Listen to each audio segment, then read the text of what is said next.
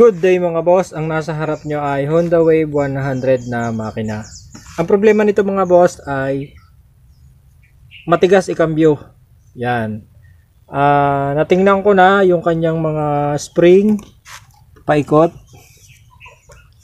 Ang mukhang pare-parehas naman. Kuha ng mga boss, pagka natigas ang ating kambyo, malamang ang problema lang yan ay spring maaring matigas ang spring o kaya ay tukod yung bearing. Itong bearing na to mga boss. Ngayon, na-check ko na okay naman yung kanyang spring. Ibig sabihin, baka bearing lang. Kaya matigas siyang ikambyo. Dahil mga boss, kaya ako naman nasabi na ganun, meron na akong nakalas na makina na matigas ang kambyo, yung pala, kaya matigas, ay makapal yung spring. Papakita ko sa inyo ngayon andito mga boss yung halimbawa ng isang makina na pinaltan ko ng spring. Ito mga boss. Yan. Yan pinaltan ko yan ng spring na pang Honda Wave 100 pero itong makina ito mga boss ay Lunsin 110 ang spring na nakalagay niyan mga boss dati ay di apat ang spring yan ang ginawa nung dating may-ari nito nilagyan ng spring na makapal hindi ko alam kung ano spring to, pang TMX o pang uh, Kawasaki Barako. Masyado makapal mga boss eh. Kumpara mo dito. Yan, manipis lang yan. Yan yung naging issue nitong makinang ito nung dinala sa akin. Kaya ngayon, malamang ang issue naman ng isang yon ay hindi spring. Malamang yung bearing. Natukod dyan mga boss, doon sa loob na yan. Mamaya papakita ko sa inyo, kakalasing ko lang. Yun lang yan mga boss, gawa nang nakagawa na din ako dati niyan. Ganyan din ang issue. So, para lang makita nyo, at para baka mamaya, eh nagtataka kayo, semi-automatic pero mahirap ikambyo. Ah, hindi ko na pinaki hindi ko na pinakita mga boss kung paano ko to nakalas kaya ganyan na lang. Meron naman akong video nito kung paano ko nakalasto. Kaya uh, ganyan na lang. Ganyan ko na lang ipinakita sa inyo. Kakalasin ko muna to. Itong mga tornilyong ito. Para makuha natin tong spring na to. O kaya para makita natin yung kabuuan nito. At para makita nyo na din kung ano yung nagiging dahilan kung bakit siya ay natigas. O pwede naman, nasikwatin ko na lang to. Habang pinipihit ko itong tornilyo, may napansin ako mga boss. Meron siyang washer. Dapat wala tong washer mga boss. Yan o. Oh. Ibig sabihin, nagkakaproblema talaga to dito. Kaya kinalangan, baka nga natukod yung bearing. So, ito na mga boss, nakikita na natin unti-unti kung ano yung diferensya niya. Washer siya eh, ano. Ano, yan, kita niyo ba? Washer yan mga boss. Parang nilagyan nila ng spacer para hindi tumukod. Eh ngayon siyempre sa katagalan natukod na. Nagagasgas din to mga boss eh ang lagay ng bearing. So malamang yan ang issue niyan mga boss. Kaya ang gagawin natin dito ay kakalasin natin ng buo. Dadalawang tornilyo lang naman. Pakita ko na rin sa inyo kung paano siya binabaklas Tang bali natanggal ko ng mga boss yung dalawang tornilyo. Dadalawang tornilyo na lang ang tatanggalin ko. Tapos natin konti ma ang ating camera. Hmm, baka tamaan. Ganyan natin ang ilaw. Yan.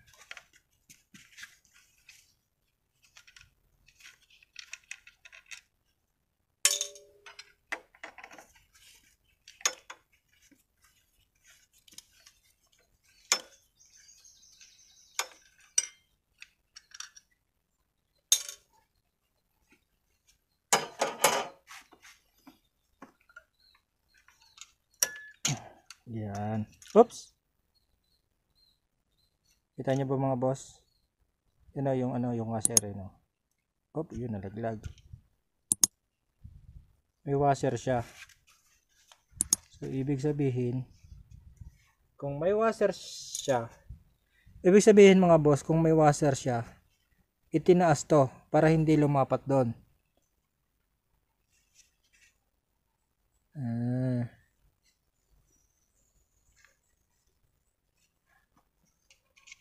Ang kanyang spring. Check natin. Pare-parehas naman. Apat na spring.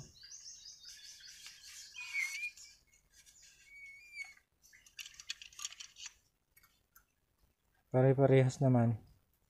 Tayo pakuha nga ng spring na sample doon. Yan. Yan mga boss, yung spring natang, na natanggal ko dati doon sa ginawa kong makina na natigas ang clutch, na matigas ang clutch. Maiksi lang siya, pero makapal. Ito yung nakakatigas ng cambio. So dito sa kaso naman itong isang motor na to na kinalas natin ngayon, hindi naman yun ang issue niya. Ang issue niya mga boss, palagay na doon. Ang issue niya mga boss, ay, yup, yeah.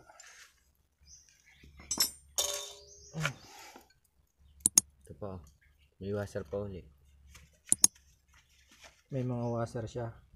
Yung apat na spring mga boss, may washer para umangat-angat to. Dito nakakalagay yung mga boss eh. Ito. At saka ito, magka, ano yan, magkatuon niya ganun. Yan, nakaganyan yan. Yan. Kaya, pag nilagay mo yung bearing, halos wala na siyang space. Kita nyo ba mga boss? Sige nga, lapit mo nga. Yan o.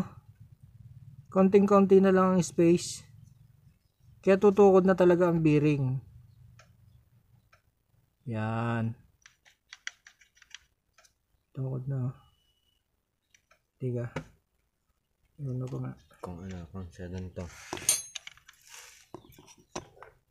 Konting-konti lang no. Tutukod talaga. Ito, ang sabit niya. Oo.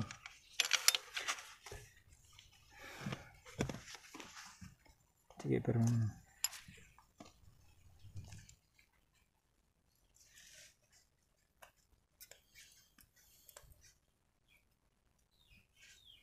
Tapos mahaba to.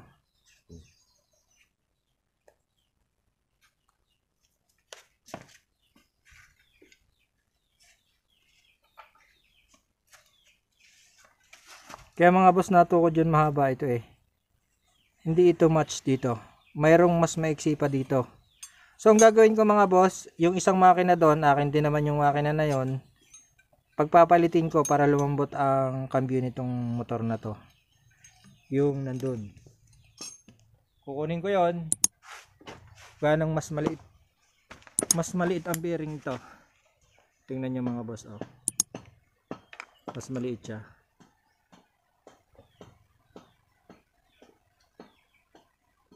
Mamaya kakaliper natin. Para makita natin.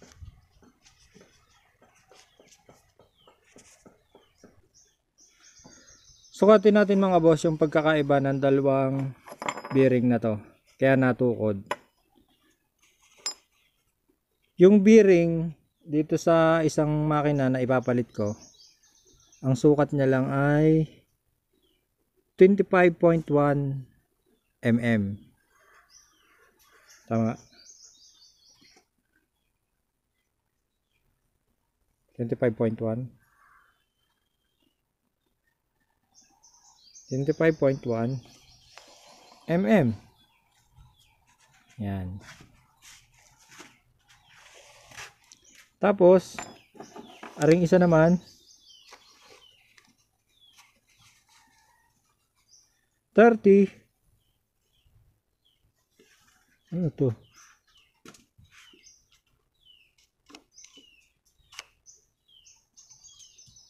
Thirty-two mm.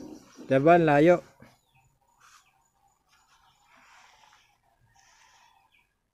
Thirty-two mm. Layo, 25. 32. Tapos sa kapal niya,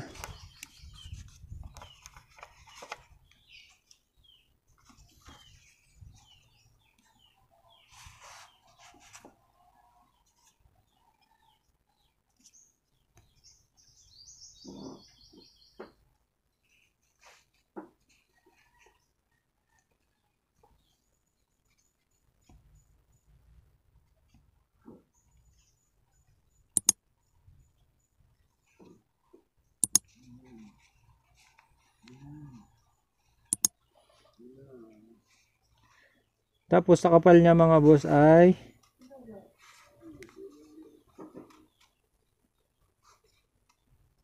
Nine mm.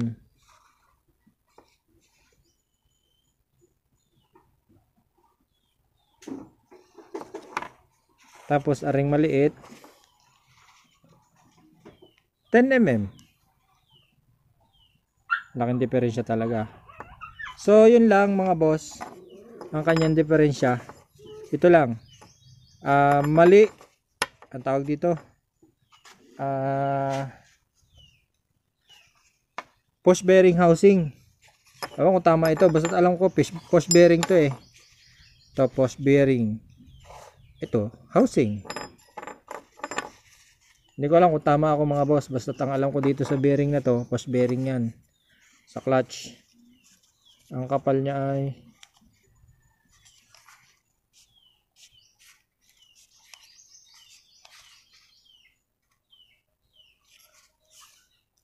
Five inches. 0.5 inches. Ang kapal mga boss naman ito ay 0.5 inches. Yan. 0.5. So malaking diferensya mga boss. Kaya ito lamang ang nakakapagpatigas ng kambyo ng motor na yon. So thank you so much mga boss. Sana ay may natutunan kayo sa video ito. Kaya kung kayo ay magpapakabit ng ganito part ng ating motor, ah, post bearing o post bearing housing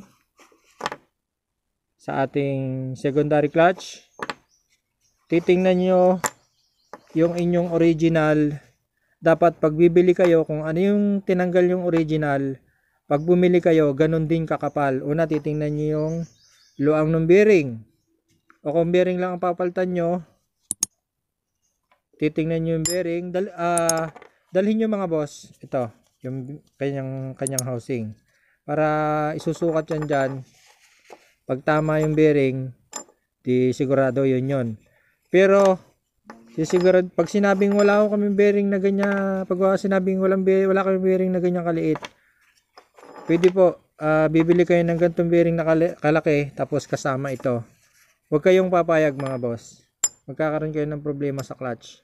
Titigas ang clutch nyo, gawa ng tutukod ito doon sa may tornilyo ng clutch natin. Kaya wag na wag kayong papayag na papalitan yung original nyo. Dahil baka magka-problema kayo lalo na't malaki. Tutukod dyan, maglalagay pa kayo ng spacer. Pag hindi sapat yung spacer nyong nilagay, titigas pa rin. So, ayan. Siguro kahit pa paano, meron kayong na pulot na idea mga boss. Kung baguhan ka pa lang sa channel na to, maraming salamat sa iyong pagbisita. At kung dati ka na dito, ay maraming salamat sa patuloy na pagsubaybay sa aking channel. At sa mga ano po, mga sanay nang gumawa ng motor ay pasintabi po sa inyo, ito po ay para sa mga beginners. Kung ito po ay naintindihan niyo na, alam niyo na to, siyempre, alam na natin yan, skip na lang natin. Okay? Thank you so much mga boss sa panonood sa aking video. At kita-kita tayo sa susunod na video natin. Huwag kayong aalis, meron tayong shoutout dyan sa huli. Bye! Shoutout sa lahat ng bumibisita sa aking channel. Good day mga boss. Welcome sa ating dashboard. So, congratulations sa akin. 28,581 subscriber. So, punta na tayo sa ating comments para tayo ay makapag-shoutout. Ayan. Uh, bagong-bago, buena manong buena manong, hindi ko pa siya nare-reply. Shoutout kay Jam Jam Wonder TV. So, mamaya kita pupuntahan, boss ha. Tapusin ko lang tong edit na to. Tapos, shoutout kay Merosol Contenido. Sige po, mamaya ko po sasagutin. JP Fondan. Bruce Melo, shout out po. Pamela Tanong at sa Uno Motorcycles Parts ng Tanagan, Kalatagan, Batangas. So basta't kayo ay nag-comment dito, automatic yan pagka ako ay nag-shout out, mababasa ko kayo. Pasok sa banga. Kayo ay masya-shout out. Junel Dinubo, shout out po boss. Uh, so okay natin to, lagi siyang bumibisita. Ronald Aranzel, Arnold Suntua, Pamela Tanong Ole, and Ono Motorcycle Parts ng Tanagan, Kalatagan, Batangas. Vlog ni Istoy, shoutout po. FBC Mini Sounds, boss, shoutout po. Bosio Batista, shoutout po. Alejandro Sandot, shoutout po. Mix Noted, shoutout po. Santa Maria Nel TV, Roger Villanueva, Roger, Roger Villanueva, sorry. Ah, Simon Arcilia, Dietsky, Abdul Wahid, shout out po.